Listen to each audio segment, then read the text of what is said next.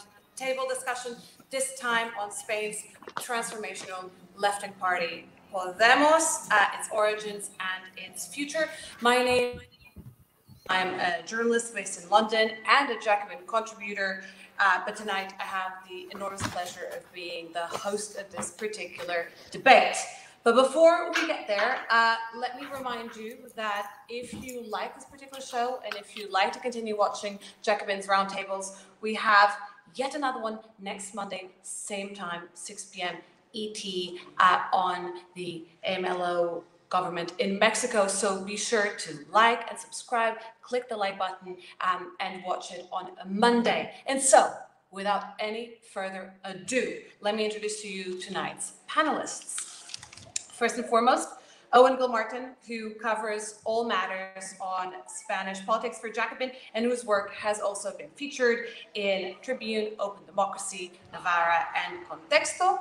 Uh, then we have Jorge Tamames, who is the editor of Política Exterior and author of the book For the People, Left Populism in Spain and the US, published this month by Lawrence and Wishart. And finally, uh, Tommy Greene, who is a freelance journalist covering Spain and UK and Ireland, three quite interesting uh, countries, and whose work has also appeared in The Guardian, Independent, Open Democracy, and of course, Jacobin. So welcome to you all. Um, I mean, this is a particularly uh, zeitgeisty topic to be discussing in 2020. Uh, these uh, controversial to some very popular to others uh, governmental arrangements across uh, the Western world. And Unidas Podemos, as part of a coalition government in Spain, is no exception to that, quite the country. However, Podemos started with perhaps slightly different ambitions, or maybe the same ambitions, but expecting a different trajectory about six years ago. And it finds itself now in a very almost traditional uh, coalition with the Socialist Party in Spain, also known as PSOE. Um, I was thinking maybe, Eoghan, we could start with you. If you could contextualize for people who have only heard of Podemos or perhaps never heard of Podemos, what its recent but nonetheless history is and within the context of Spanish politics.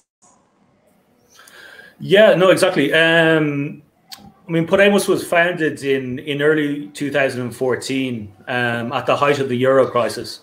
Um, and I guess its initial importance for, for an international audience was that I guess before Corbyn, before Bernie Sanders, before Mélenchon, it demonstrated that the left could compete for um, for governmental power. That uh, there was, I guess, a path to to elect um, to electoral victory for for the radical left. Um, I guess initially the party was formed between a, a group of university professors who had studied particularly um, the pink way. Uh, the pink tide governments in Latin America, um, and a small Trotskyite party, um, which which formed the initial cadre um, or initial cadre of activists for the party. Um, and I guess their their initial analysis was that um, was that the political center at the height of the euro crisis, the political center was was obviously in crisis and was partially in uh, in collapse. Um, and that there was a historic window of opportunity for the left if it could um, organize electorally. Um, I think you have to remember.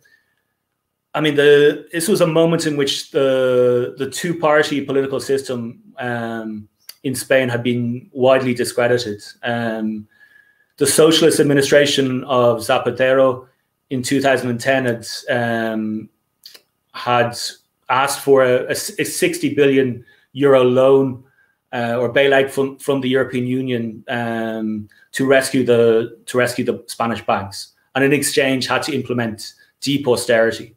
Um, so you had a situation in which austerity was introduced by the centre left socialists and then deepened um, after 2011 by the, the Spanish right, by the government of Mariano Rajoy. Um, the social reaction to this was obviously the famous Indignados movement, uh, beginning in May May 2011. Um, similar to Occupy, um, but but actually a genuine mass movement. I mean, something like 20% of the Spanish population um, participated in the assemblies and protests of the indignados. You're talking like nine million people.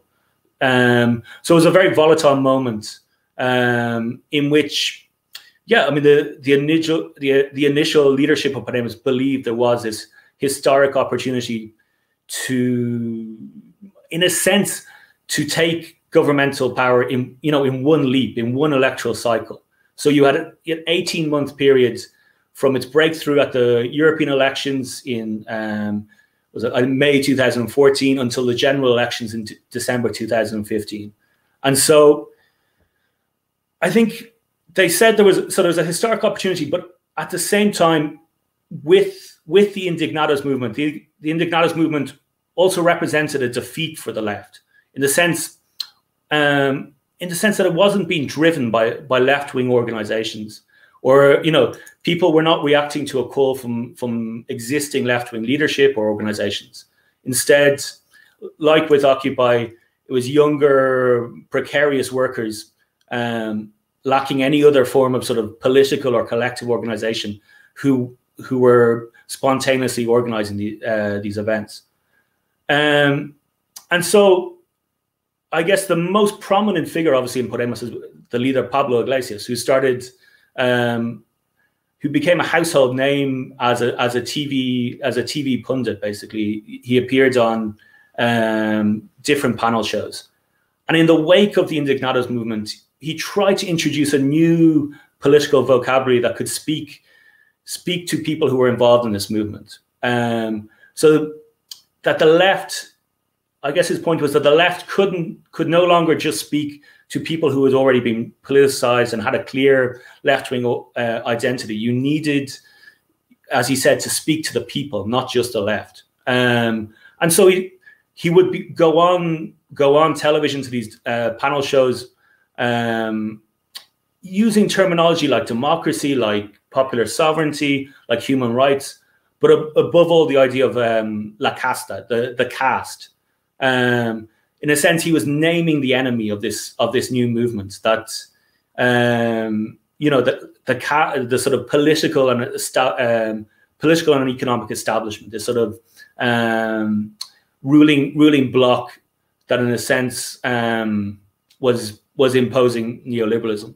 So this idea, I guess, translated then into into Podemos's initial left populist discursive strategy that you would reorientate um, political debate around the division between um, yeah the caste, the political and economic establishment, and the people, or those at the top of society and those at the bottom.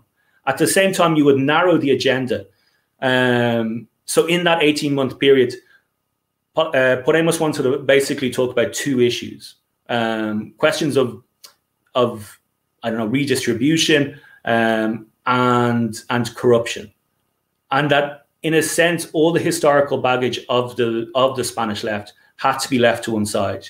You would not talk about monarchy, uh, the monarchy and uh, republicanism. You would not talk about the national issue, of Catalan independence, or uh, historical justice relating to the Franco regime. You would only talk about sort of um, one political corruption and two um, questions like housing rights auster- uh, austerity, etc. Um, and so, yeah, I mean this this um, this narrowed narrowed the focus. At the same time, I guess the initial um, the initial leadership um, decided on a very particular organization organizational structure for the party. After making its initial breakthrough at the European elections, um, at the founding con- uh, Congress of the party, they they organized the party as a what they called an electoral war machine. So it was going to be a very much a, a top ten top down organization, um, designed very much around the around the the presence, the charismatic presence of the leadership on television. Um, the idea was literally you have 18 months to take government power.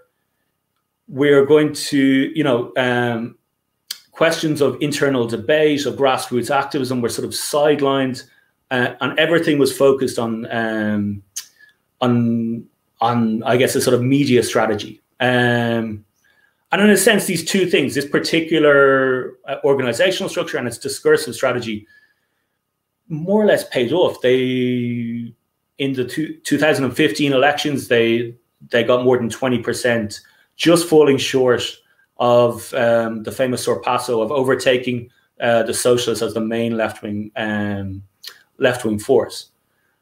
And so you had you had this amazing rapid advance, but then once they entered the institutions, in a sense, they lost this initial sense of purpose, um, and they were left, I guess, then having to to negotiate how they were going to position themselves um, institutionally and socially afterwards.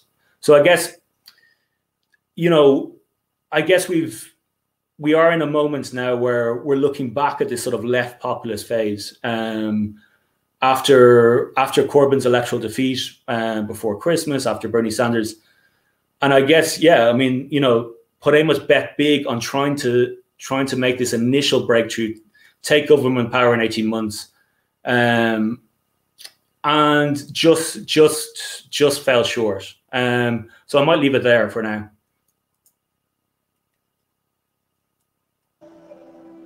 I was wondering.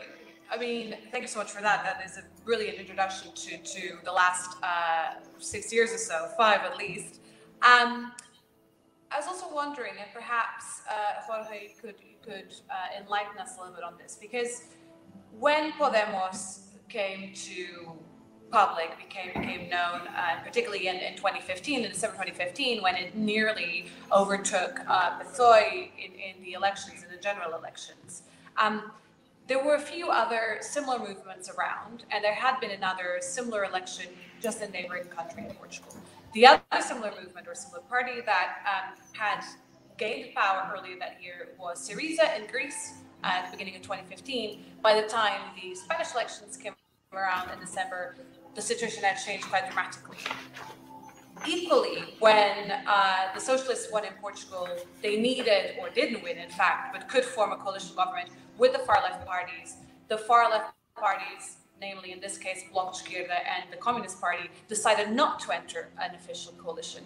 So I was wondering whether you could see uh, an actual parallel or any learning curves that Podemos had in that process between 2015 and the last the last five years or since last year's election, 2019, um, or whether in fact it tried to pursue, although perhaps unsuccessfully, as, as Eoghan was kind of pointing out, its original trajectory of being a, a left populist, uh, completely differently organized uh, political organization. Okay, well, uh, thanks, Joana, for your questions, and thanks for having me over. Um, happy to um, engage with these questions that you pose. So, to as you know, uh, as, as you pointed out, and Eoghan was mentioning, the rise of Podemos uh, sort of coincided with the rise of other uh, left-wing parties, in, especially in Southern Europe, right? Syriza in Greece, uh, Bloco de Esquerda in Portugal. And the initial uh, Podemos hypothesis, when Podemos uh, first appears in 2014, is that if um, all these left populist or new left-wing parties are successful and manage to enter government or join coalitions or influence their respective national governments, that perhaps it would be um, that would facilitate the forming of a sort of South or Mediterranean bloc within the EU that would push against the austerity measures uh, being imposed at the time, right? Um, Sinn Féin in Ireland was also part of that strategy, was growing at the time. The reason that, um, for example, Podemos did not reach power uh, as Syriza did in Greece, or that there was no uh, sort of immediate coalition or agreement between the, the center-left socialists and the broader left, as in Portugal. Um, well, there are a number of reasons. But the first one and most obvious would be that um, while Spain was deeply affected by the 2008 crisis and the 2010 turns towards austerity, it was not in as much of a dire um, position as Greece was, right, at the time. And this is something that Podemos leaders who had basically cut their teeth working for um, left-wing governments in Latin America understood when they pointed out that um, Spain at the time had a sort of regime crisis in terms of the legitimacy of its traditional parties, but not a state crisis like Latin American countries had in the 1980s, where uh, basic services stopped functioning and there's a uh, general, like very extended legitimacy crisis in this respect. So that is one key difference with Greece that basically made it very hard for them to, um, for their initial strategy of obtaining victory in the space of 18, 24 months. Um, that was a big obstacle. Now, with regards to Portugal, why couldn't they form a coalition with the center-left uh, PSOE? There are a number of uh, reasons why that agreement took about four years in the making. One of them had to do with the fact that um, so Spain, unlike Portugal, and as we can discuss further on, because the recent elections were in um, the regions of Galicia and the Basque Country, which have their own cultural and linguistic peculiarities, is a very sort of somewhat decentralized country and very diverse culturally, um, and you could say uh, in terms of uh, plurinationally. So basically, what happened was that there was a, an ongoing crisis in Catalonia regarding the Catalan government's bid for independence. Um, and what happened exactly was that uh, PSOE and P Podemos held very different positions on the matter. Not very different, but the, they became like their differences became sharpened in the space of their political confrontation.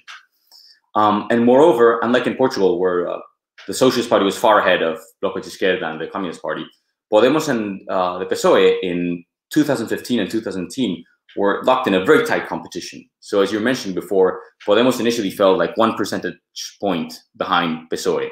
PSOE is the traditional center-left party of Spain. They've held power for more time than any other party since Spain is a democracy. And of course, they were not uh, comfortable with a with a competitor that was uh, pressing on their heels so hard. So they tended to view Podemos as a rival, uh, and they were not interested or were very wary of joining a coalition at the time.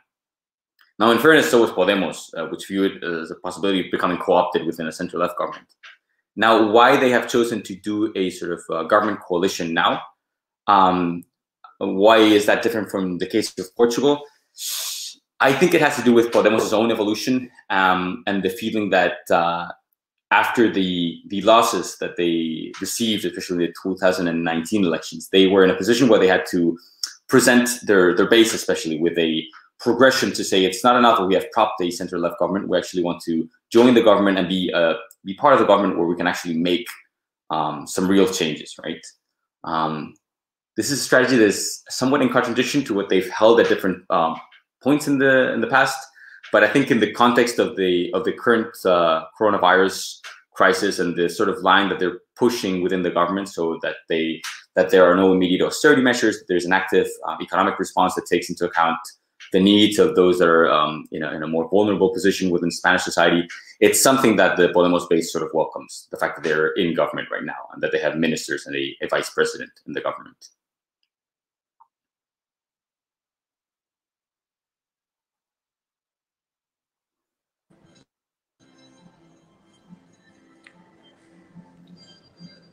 On that note, um, and particularly given that uh, we've mentioned the regional uh, uh, particularities.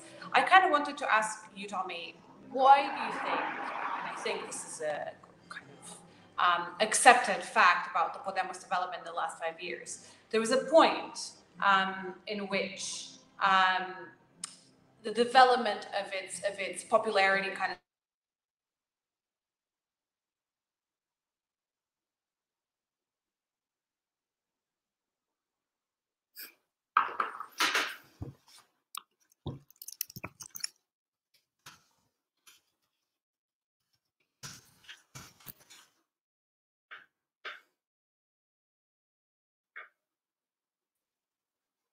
Sorry, I didn't. I didn't hear the last bit of your question there, Joana. It looks like obviously the audio has just uh, gone out uh, briefly.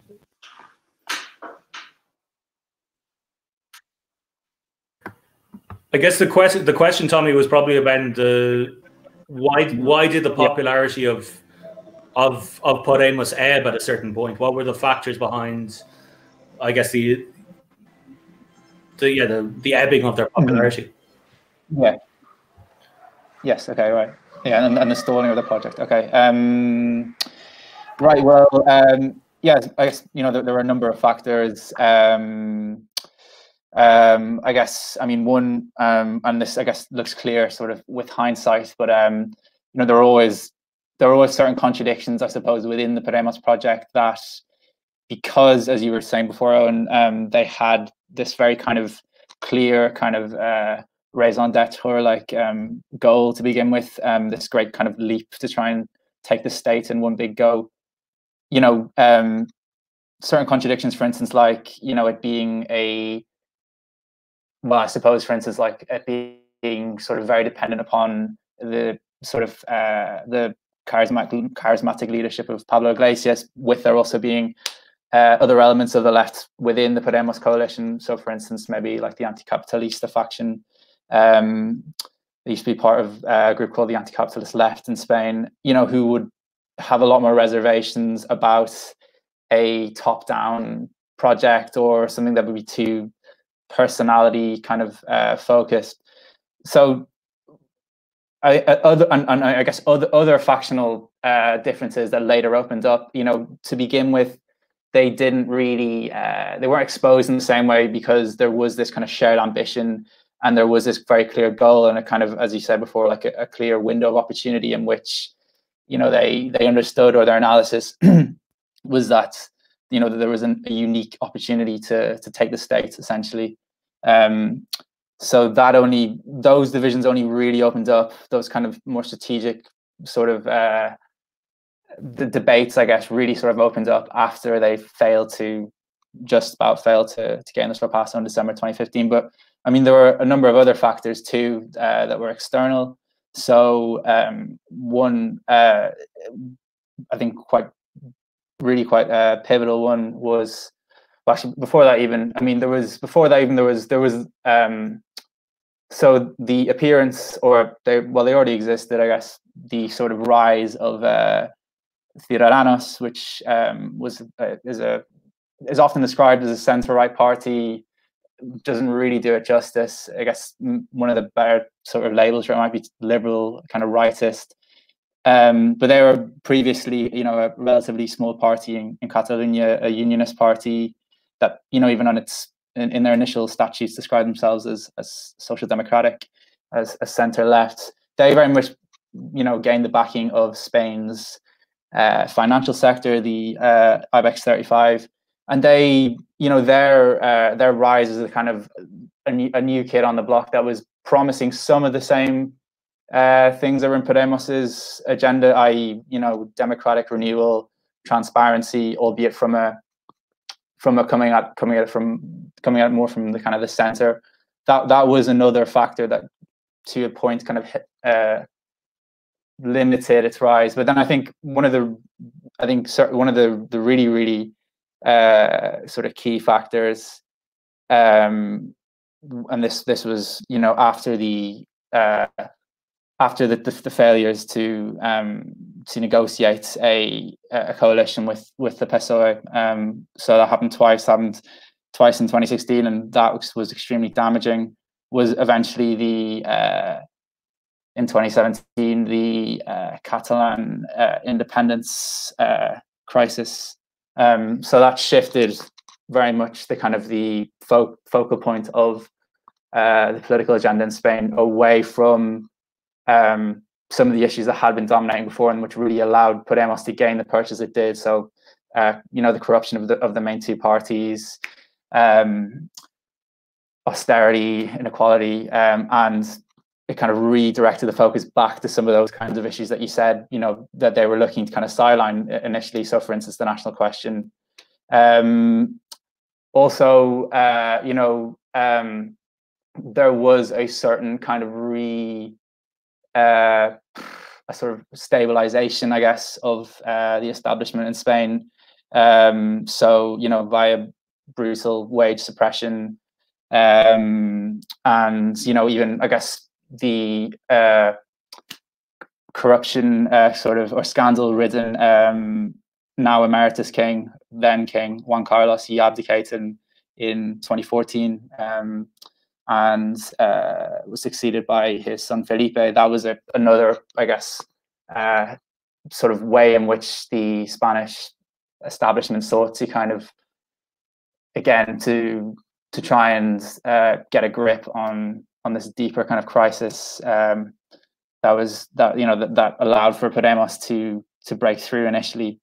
Um, but even yeah, I, I kind of skipped over there just for a second, so I should, I should kind of go back to it. Really, the the failure to negotiate a coalition with uh, the Socialist Party uh, for after the uh, December 2015 election, and then again after the repeat election uh, in 2016, really, I think it did do them a lot of damage.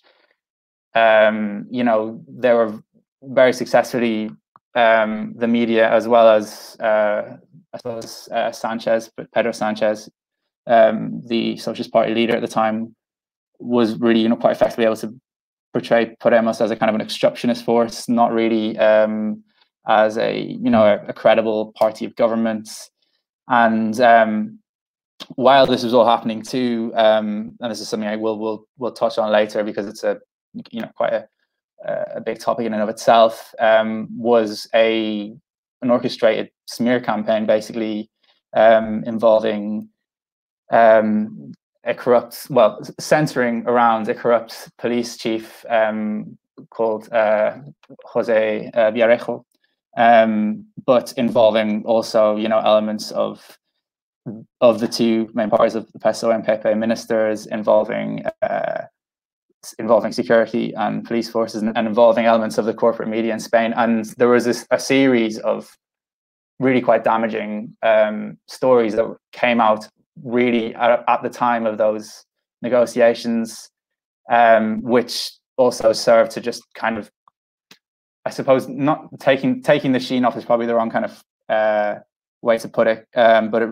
I guess um, to create a broader sense of kind of disaffection with the Podemos project, which had seemed so kind of fresh in comparison to this, uh, you know, um, yes, I guess I guess this kind of uh, you know almost moribund kind of political establishment. Um, so I think, and you know, I guess you have to also consider that you know at the time there was just this broader sort of, uh, I suppose, mis- uh, distrust of, of of politics in Spain. So those, um, I think those those sort of fabricated scandals, if you want to call them that, they they really were quite effective at uh, sort of taking some of the initial shine off of uh, off of Podemos after you know such a uh, I guess their unex- not not exactly their unexpected success, but you know their you know to go from I think it was what like five MEPs in, in 2014 to um, uh, you know um, over like 20% of the national vote at the end of 2015, reducing uh, the combined votes of the Popular Party, the Conservative Popular Party, and the Socialist Party from 84% in 2008 to around 40% in 2015 you know. Um I, yeah i think I, I i think those they weren't the only ones but i think th- those were kind of the, the the main factors that really contributed to the stalling uh, i suppose of of the project after you know its initial sort of giddy success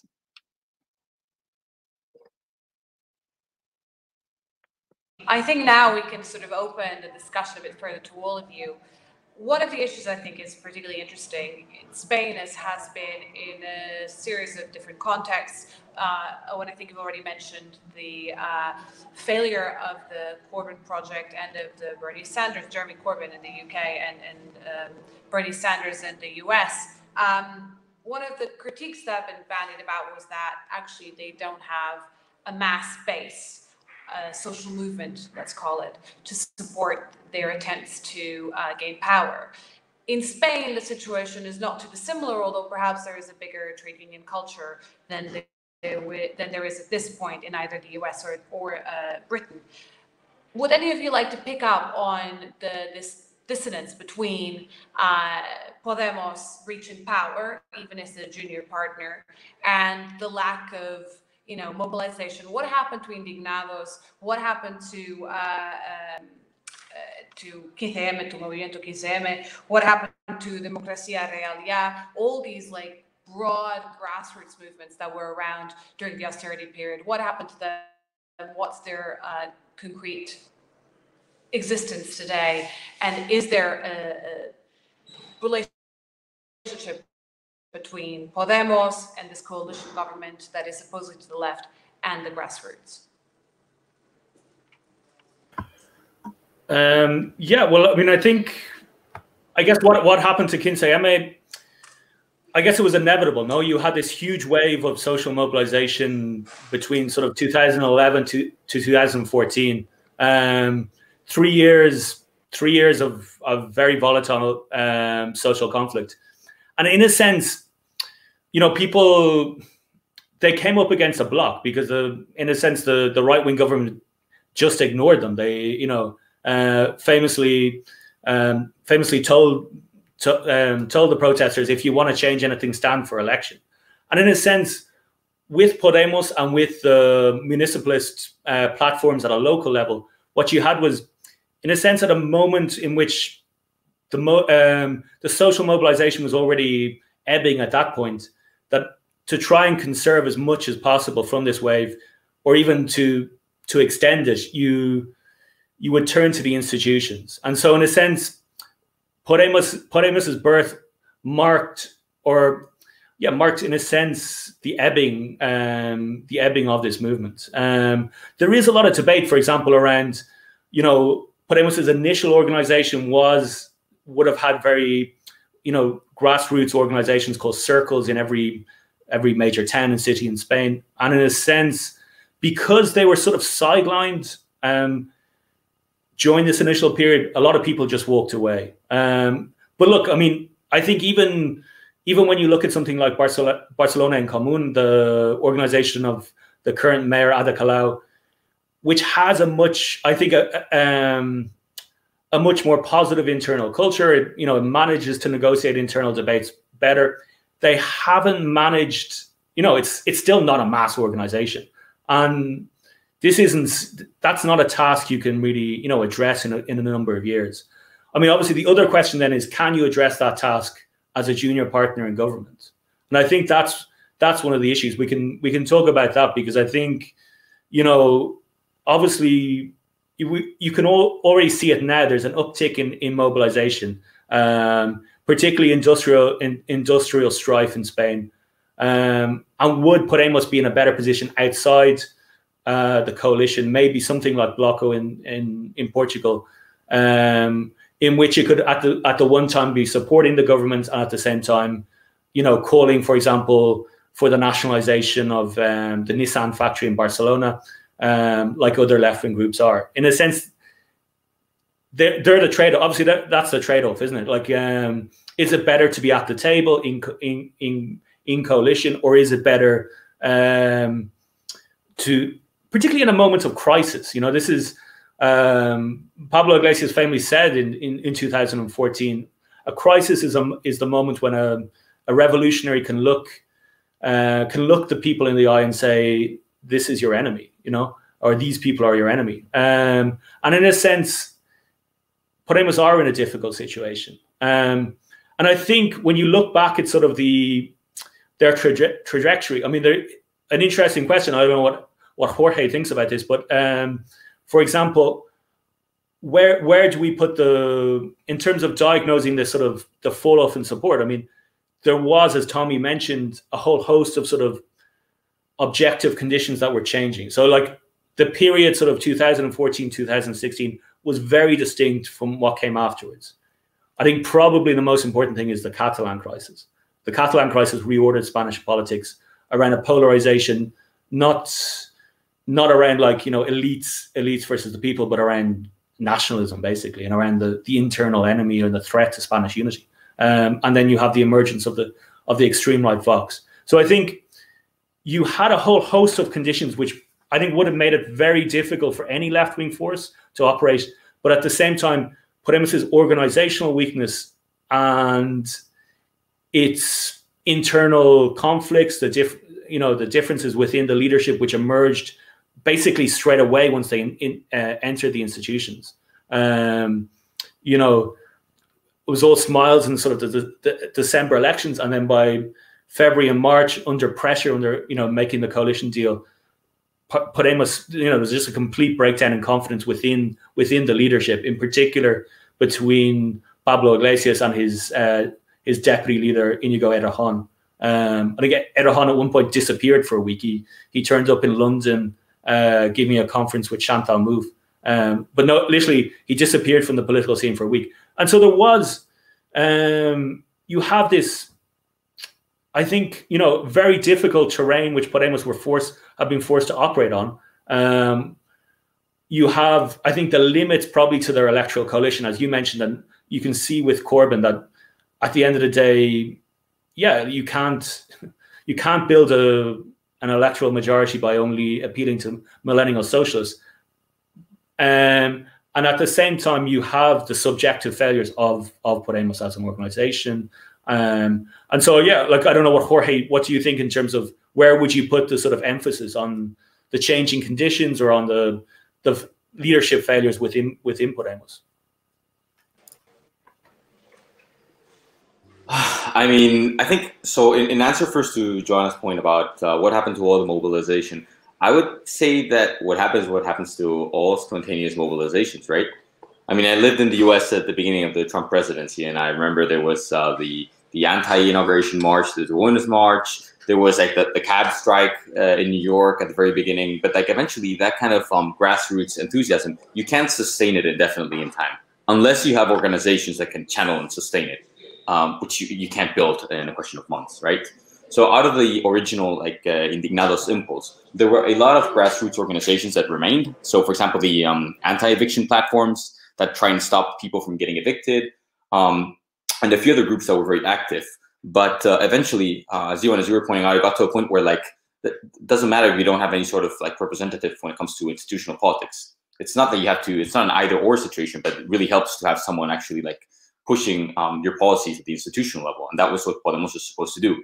Now, the question with Podemos is because of the organizational choices it made, um, it became a very top-down vertical party with a, as you were pointing out, very media-heavy um, leadership. And I find it interesting. There was a, a, political, an Irish political scientist called Peter Mair, who explained very well how uh, basically Western parties under neoliberalism have become what he called cartel parties, where they basically sever their links to society. So instead of having like the kind of stuff that social democratic parties used to have, so youth clubs, unions, and so forth, they just detach uh, and disengage, and they only have a, a leadership that appears on on TV a lot and is like communicating all the time, right? So the paradox of Podemos is that institutionally, it became an, an anti-neoliberal party that was organized as a traditional cartel party. And so when the initial impulse um, to basically win elections in, in two years was not fulfilled, they were left without an alternative strategy. Now, to put that into perspective, I think when we talk about like, oh, why did Podemos fail and so forth, it's a very retrospective look. Podemos was very successful in the first two years. So you have to understand like um, Bernie Sanders when he first ran for president, well, in 2015, he was not expecting to even uh, make it past the, the first primaries, right? It was just a sort of protest run to raise some issues. And eventually he almost got to seriously challenge Clinton. But Podemos was uh, in it for real, right? They really thought they could win in, in two years. So this is an extremely ambitious uh, initiative. And what happened is like once they didn't have, once it wasn't fulfilled because of the number of obstacles you pointed out, right? Um, some were external. So think, for example, like, uh, yeah, the media making some like just profoundly unfair or disqualifying attacks, uh, profoundly dishonest campaigns against them. Um, the case of Greece, when Greece, um, when Syriza failed to sort of renegotiate austerity and was imposed even harsher conditions, this was used within Spain by a lot of politicians to say that this is what will happen if Podemos ever makes it to the government, right? Um, and a few others. And then like some um, mistakes that were basically came from the Podemos leaders themselves the main one is that, as I said, they didn't really have an alternative strategy. And what they realized once that they hadn't surpassed the PSOE is that they had built an organization that was good at getting immediate electoral gains, so in the short term, but was very bad at handling dissent. Uh, and so they got into infighting. And it doesn't really matter, like, within Podemos, is always told like a, a story of uh, treasons, depending on who you side with and who was good and who was bad. And that's really not the point. The point is that there was an institutional dynamic where the, the institution itself, the way the party was structured, was not conducive to any kind of productive internal debate. Um, and yeah, I agree with you. And I think that the, the key year in checking Podemos' rise was 2017. Uh, three things, three very important things happened that year. The first was the Catalan crisis, which, as you pointed out, really basically reoriented the Spanish crisis away from uh, sort of, um, to put it simplistically, uh, the corrupt elites versus uh, the people, or it was like a Podemos hypothesis, towards a clash between Spanish and Catalan nationalisms. Um, and so after that, two other things happened. One was a at the beginning of the year, Podemos had its um, internal congress, well, its its party congress, where it basically uh, there was like a month of infighting, extremely vicious infighting before the Congress, which just I think demoralized a lot of the party base, regardless of who they supported, right? And then finally, there was also the case that in 2017, the Socialist Party uh, changed its leadership. So basically, what they did is they ejected their previous leader because he did not want to support a conservative government. So then this guy, Pedro Sanchez, who is the current prime minister, um, once he was ejected, even though he was a traditional, like pretty much standard center-left, uh, liberal, third-way guy, he made a comeback with a very um, anti-establishment discourse. Almost, he almost he seemed like a Podemos politician running within the PSOE primaries and he beat the uh, est- establishment, so to speak, PSOE candidate, right, who was backed by all the party elites and the and the big media groups, um, with a very like firebrand discourse. Even though he was not a, a Corbyn-like figure, he was um, he had been very much opposed to like dealing with Podemos before. But in many ways, the, the way in which he won his um, his primaries convinced people that this was a guy, right? So that took a lot of um, the thunder from Podemos' feet. Suddenly, you had a, a, socialist party that was again on the rise with a with a leadership that seemed more dynamic. So I think the combination of those three things really blunted Podemos' rise, and that's where it really started to reverse in the polls and sink from 20% to now it currently hovers at 13, 14% of the vote. Um, but ultimately, like the, the main thing was the the crisis over Catalonia.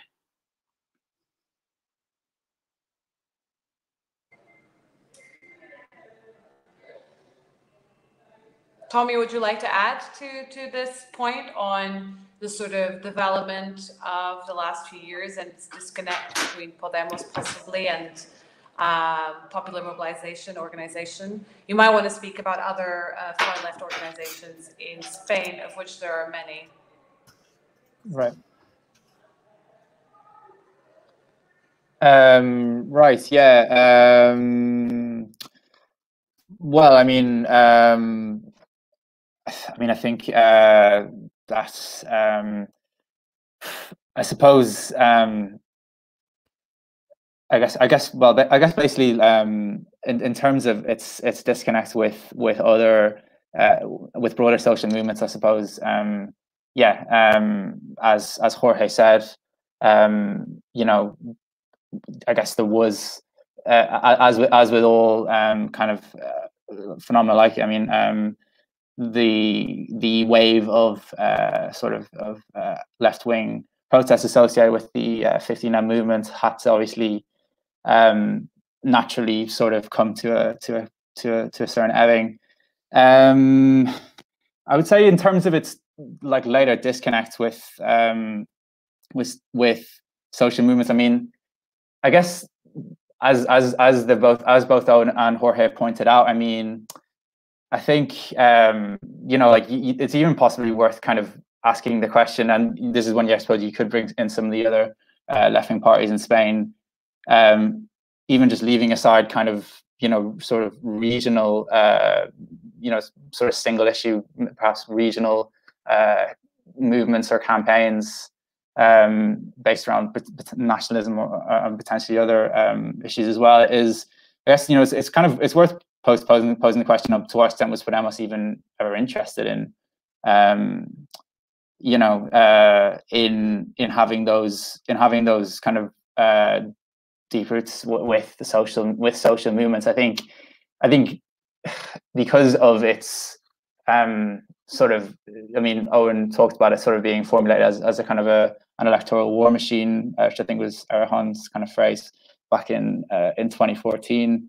Um, you know, it, it, it was very much sort of geared um, as an organization to, to, I wouldn't say to completely marginalize um, or, or, sideline um, social movements, but um, it just its structure, its its structure made it very difficult for it to uh, to sort of, um, I guess, to replicate some of the kind of um, the uh, bonds or the uh, kind of connections that other traditional parties uh, would have had with um, I suppose with with, with movements of, of uh, you know uh, from from from different sort of years or periods. So I mean that really um, in in in kind of the regional in it, you know there's been a couple of regional elections in the last kind of year in particular, and even there was one uh, one uh, this month in uh, the Basque country and in uh, Galicia, where um, Podemos's their previous gains had kind of been um,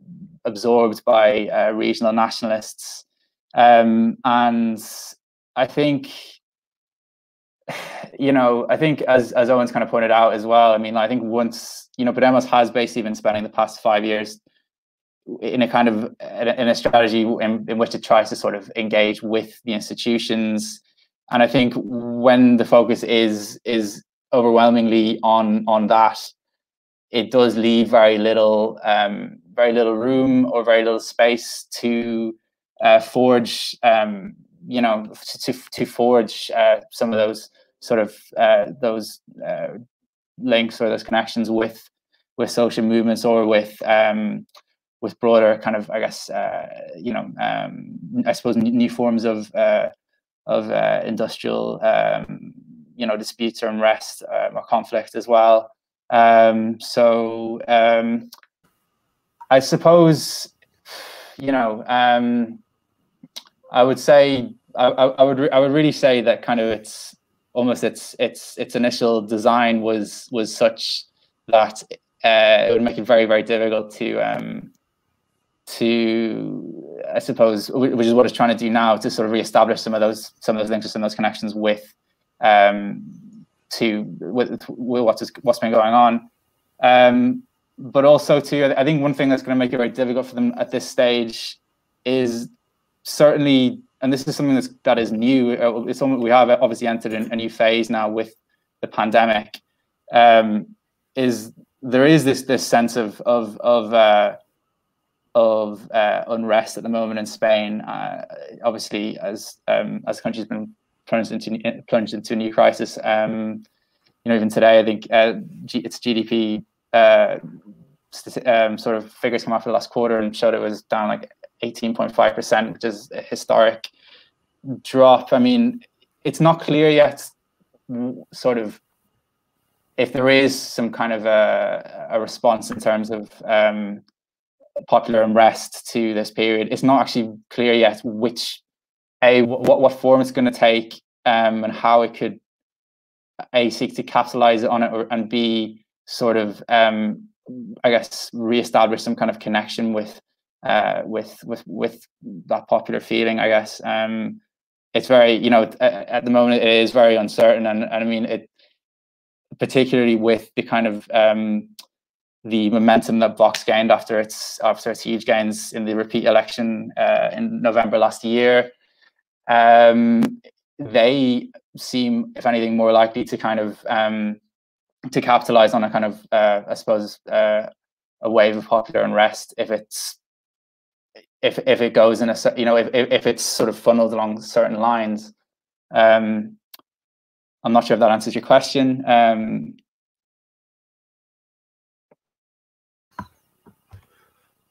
Yeah, I mean, um, I guess you know, I we, we probably shouldn't be too too pessimistic at the same time. I mean, I think, when, particularly when when you think in comparative terms, I mean, Spain, Podemos have ha have had to face four general elections in four years. I mean, it, that's going to exhaust any political force, let alone like a, a you know a, a, new a new a new party. Um, and it was designed basically to to exhaust them both on both occasions when there was repeat elections in the summer of 2016 and and um, it was it was basically to block you know to block Podemos. Um, so I don't know. Like I think it is it is this is this is the issue. Like you know, um, there's no there's no easy way back in those terms. I mean, I think I think at a certain point um, they could you know I mean I guess it's it's very difficult to pinpoint what one moment where you know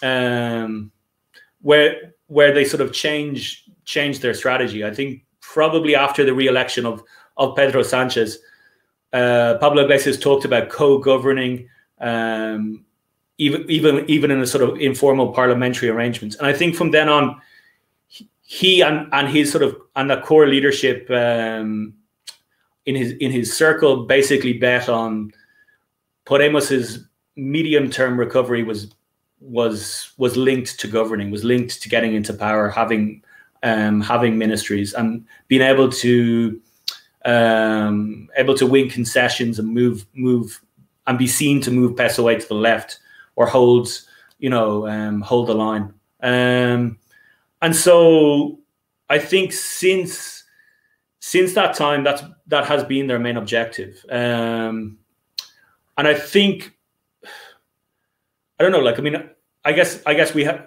the question we now need to discuss is, you know, to, to what extent has this worked out? Like, you know, um, you know, they've they've been in government now for six months. Um, and it's an unusual government in one sense because um, as as one ex Podemos MP told me, um, Manolo Monereo, that it's that there isn't a comprehensive program for government um, on a lot of issues. Um, a lot of issues were sort of sidelined, and there was a sort of more trunk, um, sort of a shorter, shorter document was was signed, which basically centered on on social issues. Um, and um, I guess from Podemos's perspective, they were thinking of a sort of coalition of maybe two, three years that would deliver a set of important but somewhat limited reforms. Um, you know, like uh, really essential reforms, but maybe not as ambitious as their own electoral program. Um, but obviously, COVID has changed that. Like COVID, um, COVID has, yeah, I mean, you know, it has re- has rearranged that in the sense that it's opened up a completely different scenario um, in which the decisions that are being made now and in the next year or two are going to define Spain for the next de- decade and onwards. Um, so there are mon- much more fundamental questions at, at play now. Um, the idea of the coalition was that um, the calculation was that Spain was entering a, a moment of stabilization, a moment of um, relative calm. Um, and obviously, to be honest, that's what I what I what I believed in January. You know, I thought, okay, this it was worth, given the lack of social mobilization, given the lack of um, anything else, that this this made this strategy made sense. Um, under under those given conditions. Other people disagreed, and you know for very very legitimate reasons. Um, and I think obviously, yeah, COVID COVID changes the terms of debate. Um, and I think, yeah, I mean the que- the question is obviously to what extent have Podemos managed in in the last the last six months to to to push PSOE in a more radical direction um, their you know what has been their degree of influence. You know, and I think you would have to say it's been ambiguous. You know, it's um, there are real positives, and then there's a lot of times where they've had to you know cede important concessions. I think the positive is you know they have as as Jorge uh, mentioned in a sense um, established a certain safety net emergency safety net to deal with with the pandemic um, I mean, obviously the star the star measure in this is the um, what is it called the uh, guaranteed base. Um, yeah, guaranteed base. Guaranteed uh, minimum income. Yeah, that's it. Yeah, I don't want to get, get that mixed up. Yeah, guaranteed minimum income. It's not. It's not a base basic income. So it's which will which will you know assist about a million people, a million, a million, actually not a million people, a million homes or a million families um, who are at risk of poverty. Um, and I think you know in a, Spain, Spain's Spain's wel- welfare state has a lot of holes in it. Um, and I think this was a, re- a really important game for them. Um, they've also passed, you know, other other minor minor sort of well, not minor, but um, I guess temporary temporary measures, um, and passed an, an important uh, sexual violence law um, to deal with the uh, the question of consent and uh, Spain's Spain's laws around rape. So I think they have had gains, but at the same time, for example, I don't know. Like I, I guess one one big concession was in March.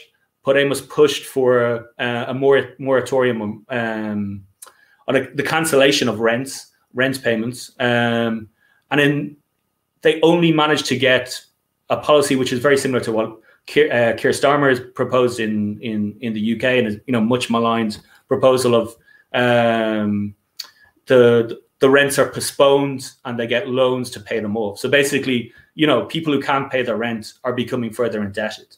Um, obviously, that's not what Podemos wanted, but that's what they were pushed or for you know pushed into accepting. Um, and I think you know one of the issues maybe we can talk about is the, the actual balance of power within within the government. Um, probably the most powerful figure at cabinet, including um, when you include Sanchez, even the uh, prime minister, the most powerful figure is the economic minister or the economic uh, de- um, deputy premier, uh, Nadia Calvino, who who is who was the former head of budgetary budgetary affairs uh, for the European Commission, um, and she gets. You know, I think Miguel Urbán, the uh, Euro, um, Euro Euro MP, uh, European um, member of Parliament, explained to me, or put it when I talked to him um, a few months ago, that it, it's as if the Troika have their own their own representative at the Spanish cabinet. I mean, this is you know a lifelong bureaucrat um, in which it's not clear whether her her loyalties are primarily to Spain or primarily to Brussels. And I think her influence comes from that. Her, her influence comes from the fact that Spain, at the moment, is is dependent on on EU support. Um, and so I think one, I guess one sort of telling moment in the last few months has been um, there was an, an announcement, I think it was in May, to of an agreement between PSOE, Podemos, and the Basque Party Bildu um, to repeal, to fully or to completely repeal the, the right wing labor reforms, which make makes it easier to uh, to fire fire people, it makes it cheaper to fire people, it restricts um, trade union rights and this this was one of the cornerstones of the program for government. But uh, Calvino has has always um, opposed repealing these reforms, um, and so this this this agreement this agreement was um, was published um, was released. The the document was was released of this agreement between the three parties, in which it said completely repeal the labor reforms. Um, and then suddenly at midnight the same day, the, the PSOE did a, a rapid U-turn and WhatsApp, WhatsApped journalists to say this, the document or the passage in which read fully repealed was null and void. Um, Calvino hadn't been informed. She she got in touch with Sanchez, uh, backed by the the employers association association, and basically um, vetoed the deal. I mean, you know, this was a policy was announced, and then your deputy your deputy pr premier vetoes vetoes the deal. So I think maybe that's that's something we could we could discuss the the internal dynamics of the of the coalition. Absolutely. I mean, I am particularly interested in knowing where does the future of Podemos lie. And in particular, if you think within the crisis, within the context of the pandemic, of the COVID 19 pandemic, if you think about the Eurobonds that have been so lengthily debated and where Sanchez had a nonetheless, even if minor, nonetheless important role in the debate, where does then uh, Podemos lie in the midst of all this and in the months and possibly years to come if the government holds, of course. Uh, Jorge, maybe you might want to start.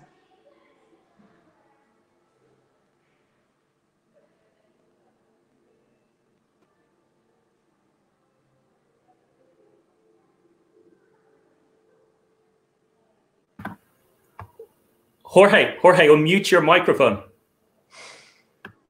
Sorry, I was I was speaking alone. Uh, I was gonna say no. I was just saying that um, yeah, as you were pointing out before, basically the problem for Spain is like it's an, an incredibly dire situation economically, as are other countries. But we just had the the economic figures for the last uh, three months come out, and and they're even worse uh, comparatively than they are for France, than they are for Italy. It has to do with how strict the confinement was here, but also with the fact that our economy is basically structured around, um, well, the, the very like large uh, amount of the economy that is taken over by the tourism sector, which is highly volatile in a context such as the the COVID crisis, right?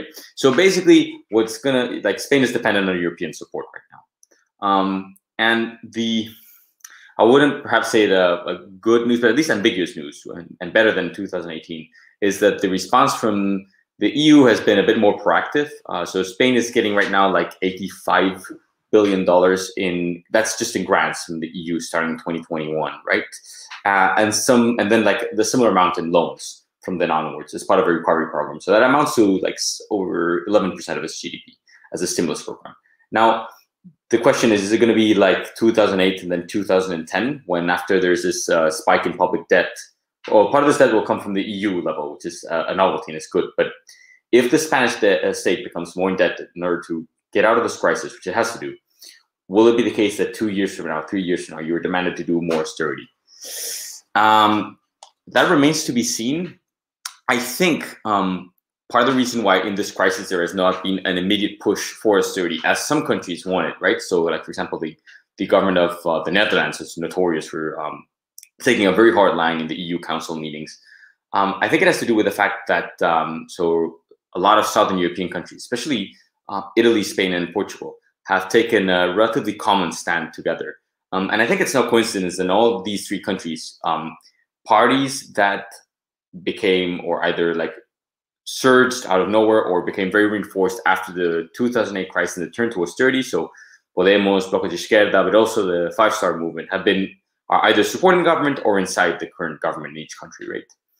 And I think has been instrumental in like pressing for a common line that doesn't repeat the mistakes of 2010 and onwards. Having said that, we'll have to see what happens uh, two, three years down the line. So that is, I think, the, the main problem regarding the the relationship with the EU. Now, as for the internal dynamics of the coalition, I mean, in fairness, like I've always been pro, uh, like personally in favor of, of Podemos joining a coalition with PSOE, basically because this is the problem that left wing, like new left wing or left populist or however you want to call them, parties and movements face is that eventually, if you want to govern, you have to reach some sort of um, agreement. Uh, truce or, or collaborative agreement with the traditional center left, right? Um, now the question is, I was a bit wary of the way that this one was um, uh, arrived at because of the weak position that Podemos finds itself in relative to the PSOE right now. So for Podemos, in many ways, this has been a, a sort of um, not fleeing forward, but it is a way to like present its base as that it's doing something meaningful, but also like it, it just cannot afford to outcompete PSOE anymore, right? That is not a viable option in the short term. So they are locked as a junior partner, and they have to do sometimes, um, as you're pointing out. Um, I think there've been some other like the, the case of the labor reform law is a bit confusing because there was no consensus regarding how it should be reformed immediately, uh, and that was actually something where like the Podemos people who were like uh, helping draft that statement with the PSOE and Bildu uh, were also having trouble with the um, not the economy minister but the labor minister, who is a very interesting figure, she is from Izquierda Unida, so the traditional Euro Communist Party, um, but she's a labor lawyer for a long time, and her her point was that like like to take down this law, it's the, basically like the, the different legal mechanisms are very intertwined in a way that you can't just like outvote it in, a, in parliament at once, and you need to do it in a scaled down process. So there was some internal debate regarding whether that was um, just um, conceding a, a defeat to PSOE or not. But it is true, it is undoubtedly true that it is a, a junior partner. Now, I think even then it has been important in the context of this crisis. Like Podemos has been key, I think, at, at times in, in like whenever PSOE gets cold feet in order to push it to do it to be a bit more proactive, right, in its responses. The um, the minimum, the basic, uh, the minimum ingreso vital, vital mínimo, the labor that we were talking about before, just basically a guaranteed minimum income for households under a certain um, threshold. That was like a lot of the policy was developed by um, PSOE people, but a lot of the political push came from from um, from Podemos. So I think they've been instrumental in that, and that's like it's a very important measure. It's you could say it's insufficient. It could certainly be extended. It should be. It will have to in the future, but it's a good um, step forward at the time. Um, what else has it done? I think like one of the biggest for me at least, one of the more pleasant surprises has been uh, Yolanda Diaz, the the labor minister that I was mentioning before. Um, she's very articulate and she's like not just a good politician, but also very solvent technically, right? Um, and that's something that we don't see so much in the left, uh, or we don't see as much as we probably should. Which is that we have a lot of like there are a lot of people who have like an activist background and so on, but she also has the the technical expertise, right? So um, I don't know. I think she's a reassuring presence for Podemos' base within the government. but undoubtedly, they are in a very um, it is a vulnerable position, and uh, it is a risk that you take.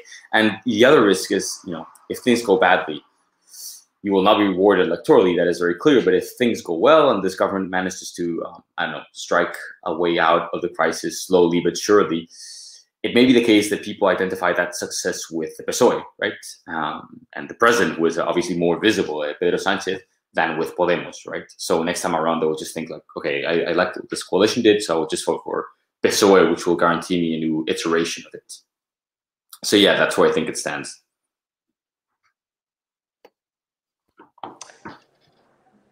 I was wondering if now we could jump into some questions from the audience, from everyone uh, watching tonight. By the way, if you're watching, if you're liking this, despite the many technical issues, for which I also apologize at my end, uh, don't forget to like and subscribe to the Jacobin channel on YouTube and everything else. We're on Facebook, we're on Twitter, you name it. Um, so these questions are a little bit back in our conversation tonight. There's two pertaining to more localized questions. I start one by uh, Perales, or maybe Jaime Perales. Um, what is the difference between Podemos and En Comú Podem? Uh, uh, is it the Catalan brand of Podemos or a coalition that includes Podemos in that region? Um, and at the same time, now that we're talking about Catalonia, uh, Mark Mongrifo has asked why hasn't Podemos succeeded in the south and former strongly left-wing areas. So I guess this is a question again about the regional particularities of Spain and how that has affected uh, Podemos' success and fails.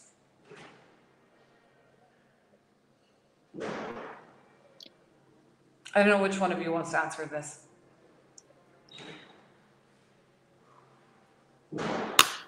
Uh, I, I, just talked, so I will pass and the, let someone else handle it. I'll take the coward option. Maybe Tommy, do you do you want to do you want to wade into yeah. the question of why has it not been successful in Catalonia? Why has Podemos not been successful in Catalonia? I mean, well, rather, um, I mean, the question the um, question is in the south. Sorry, I don't want to, I don't want to misquote oh, Mark. oh, sorry. Um, I, in the south, in former strongly mm-hmm. left wing areas. So I guess that includes Catalonia. Ooh, is Tommy still with us? Um, if not, Eoghan, you're more than welcome to jump in before Tommy comes back. So, are, are, just just to be clear, are you asking me? You're asking me about when you say this? You're asking me about the south of Spain, place like Andalusia, or, or I'm, I'm not. I'm not sure. I'm. I heard your question clearly.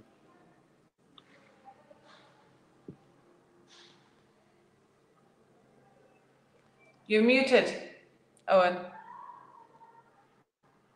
Sorry, yeah, the di- um, the difference in Andalusia, I guess, is, is that the anti-capitalista, the Trotskyite um, group, group grouping that was in Podemos until about I don't know, like um, until this spring, um, was was always in charge. That was their sort of um, strongholds with uh, Teresa Rodriguez, um, and so I mean, I, I think they polled pretty well. I can't like you know, I think they got something that was like eighteen percent in the last regional elections. Maybe like now it looks quite good. Um, obviously, in Catalonia, Podemos won in Catalonia in 2015. It was the, the largest national party at that, that moment. So um, yeah, within within within that umbrella group of um, En Comú Podem, which I think, yeah, I'm not sure. I mean, it's it's more or less put it's Podemos plus the local local organizations basically, um, more or less. Is that is that correct? I think so. Tom, well, if we want to go back to Tommy to now answer, now you're back online. Okay. Um.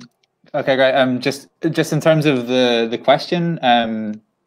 Which um because I, I don't think I, I possibly just because of my connection I, I, didn't I did I didn't hear it clear. It seemed like there was two different you were asking me two different questions or there was two different parts to the question. There were, yes, there were two different yeah. parts of the question. Do you want me to repeat them? I can happily repeat them. So again, that would be helpful. from Jaime Perales, there is a what is the difference between Podemos and, and Comú Podem? Uh, and is it just a Catalan offshoot of Podemos, or is it some sort of coalition locally? And then I think because they're intertwined, these questions, um, Mark Mongriffo asks, why hasn't Podemos been successful in the south and formerly strong areas?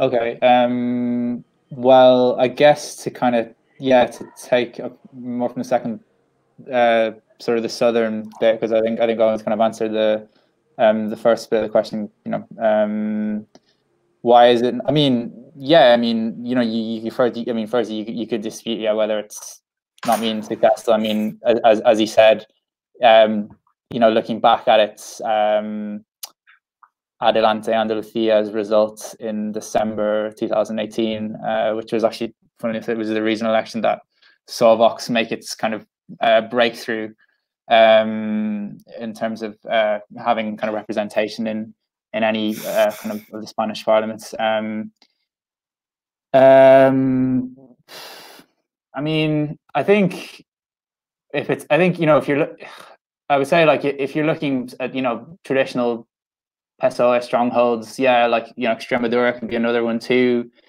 Um, I think, yeah, why Podemos struggled to make a breakthrough in some of those areas or kind of overtake the PSOE. Um, well, I guess it, some of it comes down to a, um, I guess, partially to, to demographics and, um, you know, for instance, I mean, if, you, if you're looking at Andalusia, for instance, so um, the candidate that uh, Pedro Sanchez um, defeated unexpectedly in his kind of comeback primaries campaign in in 2017, uh, Susana Diaz um, is, um, you know, she, she, was kind of the regional president of, of Andalusia, and um, there is, um, you know, like um, the PSOE lost control of the parliament in Andalusia um, in December 2018 for the first time in, you know, I, I, don't know how many years. I think it was for the first time since the, you know, the in, in, in since the return to democracy. So um, or post transition politics. Um, so I think you know, insofar as you're kind of arguing that they haven't really broken through, I mean, they have to a certain degree. I think it is very difficult to, to break through in some of those um, areas where the PSOE have traditionally been dominant particularly because just even in demographic terms, yeah, for instance, if you're looking at somewhere like Extremadura, um, you know, because uh, you know, in, in economic, it's well, it's, it's uh, largely agrarian and um, a lot of uh, you know, and this is this is a this is a sort of a, sort of a big economic feature of Spain. The overwhelming majority of young people in places like that would would move to the big cities, would move to Madrid, would move to Barcelona, would move to another urban center in order to find work. So therefore, I guess a lot of it's um, a, lot of its key kind of um, voters, you know, don't don't reside. I mean, less the case in Andalusia, see more the case in somewhere like Extremadura, don't reside. I guess. Um, so in you know in such great numbers in uh, some of the sort of particularly less populous uh, parts of southern Spain.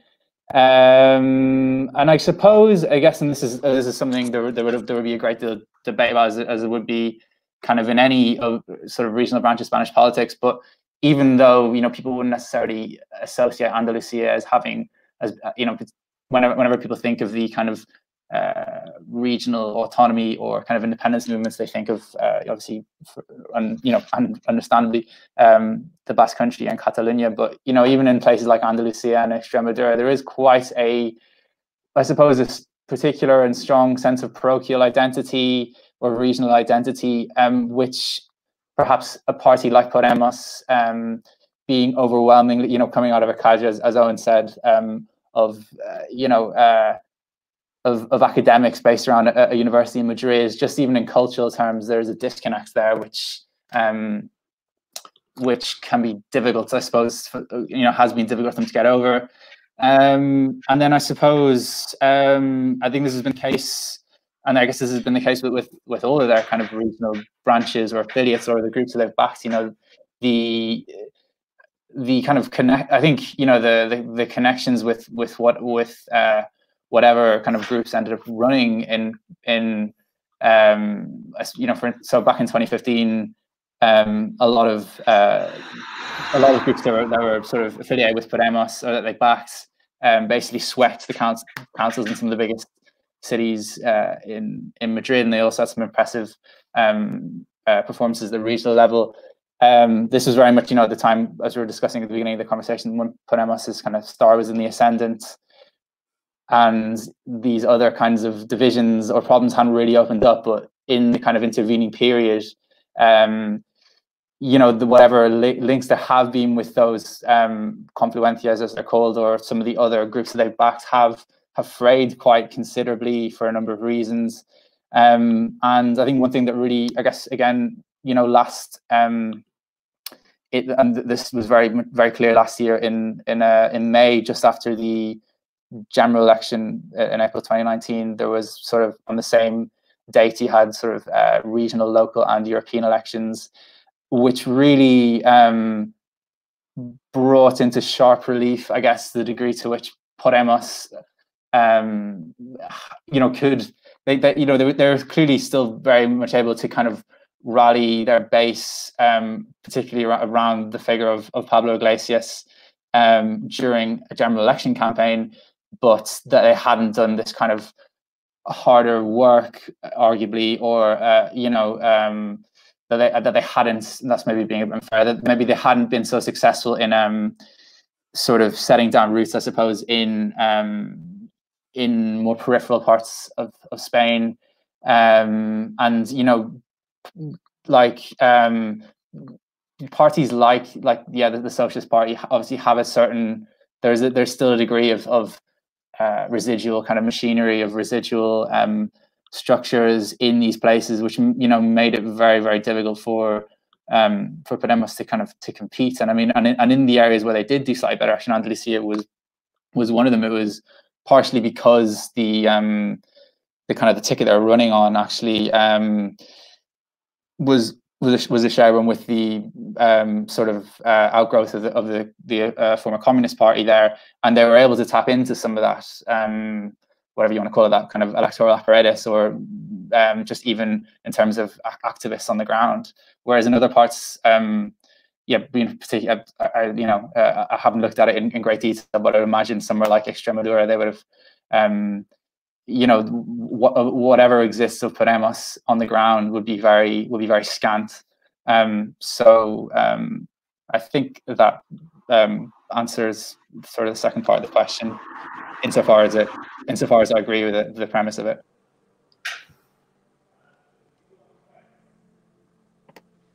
Thank you. And I mean, I have one more question from the audience that I think would be useful to answer and perhaps could lead to our final conclusions for tonight's uh, show. It comes from Paul uh, Prescott, and the question is, what kind of relationship does Podemos have with the trade unions in Spain? Now, this is something that we've already touched with comparing it to mm. Uh, trade union relationships in countries like uh, the US or the United Kingdom uh, for, I guess, many of our listeners and watchers tonight are from those countries, that'd be great. Um, who is the happy volunteer? Maybe Eoghan. I can feel him like hmm. burning with desire to answer the question. um, no, no. I'll let Jorge maybe deal out. Do you want to do? No, I mean, I would say like the, short answer is that what the kind of relationship does Podemos have with its own. Uh. I mean, the thing historically in Spain is that um, as in most other Western European countries or the United States, uh, like unionized labor force has been in decline for the last 40 years, right? Uh, but historically, the two main unions were somewhat like um, more or less formally linked to the two main parties of the left, which are the Socialist Party and the Communist Party. Um, so, like the Socialist Party had its own like very much union arm in the classic way that a Social Democratic Party had.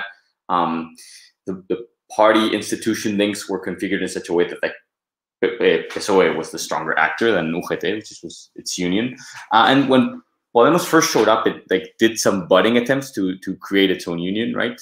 The idea being that um, well, we need to have some like organizational muscle, and not just be a, a party. But it's uh, one of these initiatives, like the circles, that was um, taken up with a lot of enthusiasm, but never never really got anywhere. So within Podemos's ranks, you will find a lot of people who come from like the leading um, labor unions, and especially uh, Comisiones Obreras, which was a union that was uh, formed during the late Franco years, clandestine union at first, um, like loosely linked to the Communist Party, largest union in the country at the time. And so, like a lot of their their people have ended up in, or not, like people who worked uh, for a long time in comisiones have ended up in, in in Podemos, right? Um, so there is like, um, but there's there's no there's not a formal link between the party and the union. They have good relationships, but um, it, it's not like Podemos as a union of itself. Like, funnily enough, uh, Vox, which is the uh, so like our our radical rights party uh, has the same name as the like the outlet in the U.S. that is like the liberal uh, blog or like the Ezra Klein place. Uh, it's also called Vox, uh, and they are they are trying to set up their own uh, union, which they recently announced, which is very strange because it's like a, a, profoundly neoliberal party. They're very much against any anything like related to welfare state or to the state's intervention in the economy. Uh, and they're doing that in a very blatant way. They're just saying, yeah, we'll have our own union. Uh, but almost never like that blatant about it. And um, I wonder if they perhaps should have tried. Of course, it's not just uh, as easy as declaring that you want to have a union and to have one, but to actually develop something independently when they were drawing on more organic strength at the beginning of the party, right? When there was a lot of grassroots enthusiasm. But again, this was something that was sort of at odds with the the, the, the strategy of like let's have very vertical vertical party with a media driven um, leadership, um, and so not not very like developed links to to civil society. So I would say they have good relationships with um, some of the leading unions. They have like some people who come from them who end up like taking positions of leadership in Podemos, and they, but uh, they don't have a a, um, a formalized relationship, is what I would say.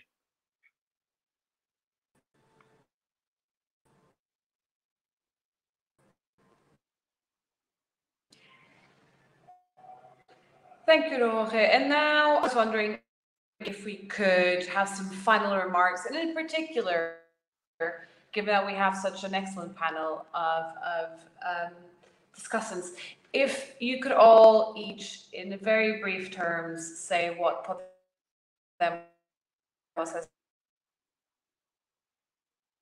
meant to you politically as an analyst.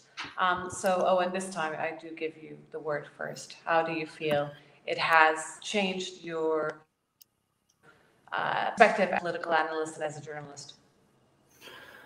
Um, that's a good question, actually. Um, I think I feel I've learned. I, th- I think you know I I I arrived in in Madrid in, in 2015. I I do feel like the the Spanish left and Podemos in particular has given me a great political ed- education. Um, and I think one of the great things about the Spanish left, and I think it's maybe something they don't really realize themselves, is the level of I don't know intellectual debate within within it. Um, and I think it has, you know, it's been a real pleasure being able to go and you know interview leading figures, but also just talk to to to you know regular activists or you know people who are interested in politics. So I think I think for me, my five years in Madrid has, has given me a, a great political education, um, and I think that's what Podemos has given me. Um, obviously, I guess the other issue might be, you know, where where is the party going to go? Because I mean, obviously, as we've talked about, it has it has um, it's had this very interesting trajectory, and I suppose um, you know, it, I think it's it is a great country to to study politics in because it is we, we've had such sort of rapid swings, um, and I think you know um, coming into the autumn, it, it, it's going to be another interesting period. I mean, the Spain hasn't had a, a, budget passed, and I think I don't know, it was like four years at this point or five years even. Um, and so the budget negotiations in the, in in September, October are going to be are going to be very interesting. I think will be a moment of truth for Podemos. I mean, um, what what could you know what um, you know what advances can it can it uh, get from its agenda? Like I mean, there's a lot. For example, they're they they're trying to push this uh, COVID tax, um, you know, wealth tax um, I think whether that will be in the budget or not is going to be a, an indication of where of the sort of internal balance of power within the coalition, um, and just generally on taxation, uh, on things like how you know there's going to be a whole um, list of issues which in the budget are going to sort of become more uh, become clearer, basically. So I think, you know, yeah, I mean, I, I feel I've I've I've got a lot, you know, a lot out of, um, you know, writing about Podemos, interacting, going to their meetings, um, and yeah, I mean, I think it's you know that's the thing. I mean, obviously the plus of of a of a party that's um, you know founded by university press professors is the level of intellectual debate. I mean, I I would have a lot of you know political disagreements with someone like Inigo Errejón, but he's you know a, a brilliant um, theorist. I mean, you know, um, sort of taking very very dense uh, post structural theory and and turning it into sort of you know a, a manual for sort of um, political communication. I think you know it's obviously he didn't do it alone. It was it was the group, but uh, you know, um, so I think yeah, no, I feel I've I feel I've got a lot from them, and I think it's it's an interesting case within that wider uh, wider context of of other sort of left populist surges. Um, so yeah.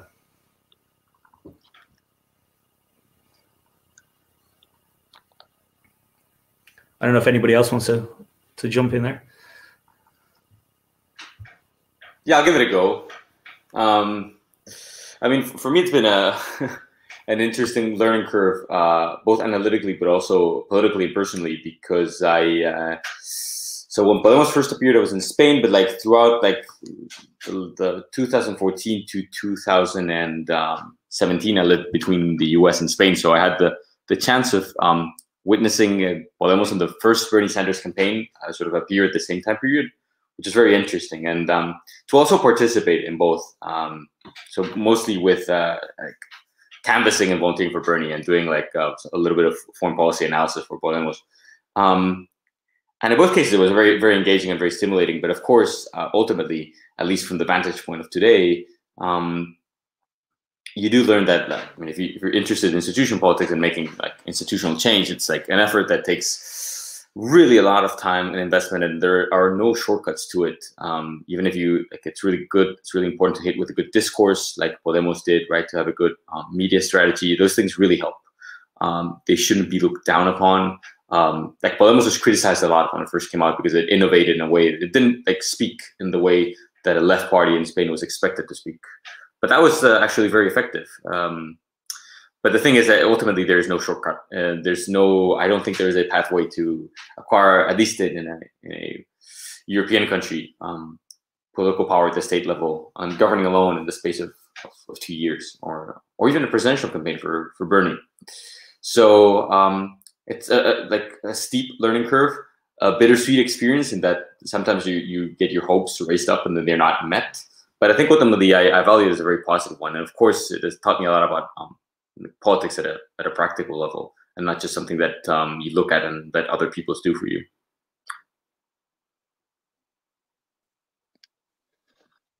All right, um, and I mean, similarly, uh, in, in in some ways, Eoghan. I mean, yeah, it has without doubt been, you know, obviously, a, um, it's been a very steep learning curve. Um, sort of uh, I guess documenting their um, their experiences, but also yeah, um, very much um, a political education, and um, yeah, uh, I think you know something that again similarly, you know, uh, similar to what Eoghan said. It, it, you know, I think we're both because um, obviously sometimes we've been kind of working on these projects together. We've both been kind of struck uh, by the degree to which um, I suppose so many you know that they are uh, kind of academics by nature, and so they they really sort of uh, they thrive on on debates and discussion, and they really, you know, I think even when I sometimes compare them to equivalent projects in in other countries in, in the UK or in Ireland, I think they have a curiosity um, for. Um, for, you know, for I guess uh, what's going on uh, outside of outside of their own kind of uh, backyards to a degree, which is you know really um, you know, yeah, just very, just very impressed and very, you know, um, you know, previously to this, I, you know, I guess, you know, and, and still now, even often what I'm when I'm asking politicians about about about certain things, you know, all that, you know, you get is is nothing but like the part the party line and uh, in as few words as possible, or you know, um, so to to to I guess to you know come across people who are in some cases, you know, obviously in you know, in in a position where they have a lot to, to lose potentially by by engaging with you and, and, and engaging with your questions, kind of in good faith.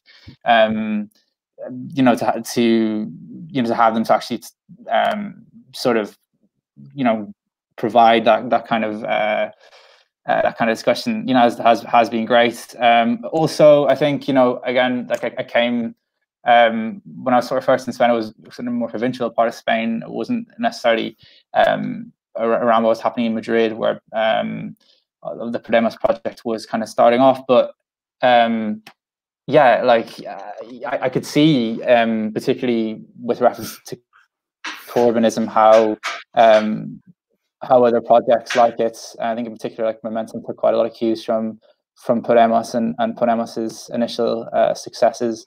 Um, it was just it was it was it was very refreshing just to to to see um, to see a, a project kind of uh, have I suppose in, in the way that they did kind of um, I guess ditched as, as Jorge sort of uh, pointed out ditched some of the the kind of um, the shibboleths of, of, of, of the traditional left and with mm. but without kind of losing that um, that content of uh, you know um, of, of, I suppose you know trying to of representing the social majority of um, of having a kind of um, an agonistic kind of uh, approach. Um, so yeah, I mean, I guess um, although like it, you know, and particularly kind of feels uh, kind of uh, yeah, you feel quite acutely now, obviously after um, after um, the the results in the UK in in December, and also uh, after um, Bernie Sanders uh, not not getting the the, the nomination, uh, Democratic nomination in in the states. Um, but you know, yeah, even just the curiosity of of, of uh, at the moment of, of seeing one of these left populist uh, projects in in governments is is fascinating and um, you know, like I think something that's I, guess it probably has come out in, in, in this discussion to a certain degree um, is that you know you, the last five years in Spanish politics have been so incredibly sort of intense and you know like each of if you're just counting Vox, you know each of the previous four parties, two two of them were sort of newcomers, had all led national polls um, at some stage over the the previous four years by and by significant margins as well. Um, you know, so I guess just just to, to sort of, you know, it it almost feels like it, it almost feels like you've been reporting on a decade of politics um, rather than just just a couple of years. So I guess even just the uh, you know the, the experience that that's that's afforded, and I guess some of the yeah, observations. Uh, obviously, initially, um, uh, sort of giving us giving you a lot of cause for hope, and then later, sort of stripping uh, some of those illusions, um, you know, has yeah um, has been yeah invaluable. Certainly, uh, as as an as a young journalist, you know, still trying to still trying to uh, develop, I guess. So. And on that lovely note, I want to thank every single panelist tonight. Eoghan, Jorge, Tommy, thank you so much for joining us. And for you out there watching this tonight, Thank you. Don't forget to like and subscribe. Your support makes shows like tonight's show possible. It makes even more shows possible. So don't forget to, again, click the button, like, subscribe. Thank you all. Very good night.